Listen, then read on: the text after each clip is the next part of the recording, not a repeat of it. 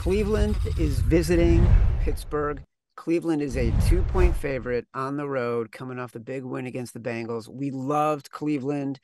It's one of your three biggest bets. We had been talking about them for months. We had them outright. Uh, the Steelers we loved. You might have loved a little bit less than me. Uh, you have made it clear with very nuanced and subtle passive aggressive comments about it being a public dog as if as if it's my fault we put him in the contest. I hear you simon. I hear what you're saying okay? Don't give me this bullshit. Steelers are two and a half point home dogs. Money is on the steelers tickets are on the browns. Of course wow i'm shocked it's not the money on the browns tickets on the steelers. I, I like the browns here. Like hmm.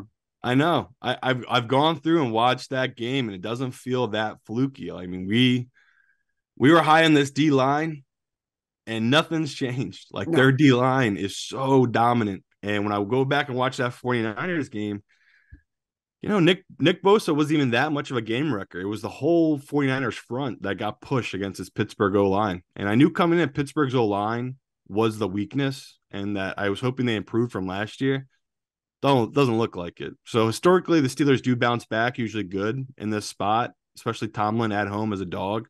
Um, that's that's the only reason we might not have this one in the contest going Cleveland, but feels like a good number. Like this this Cleveland team, you can say what you want about Watson last week.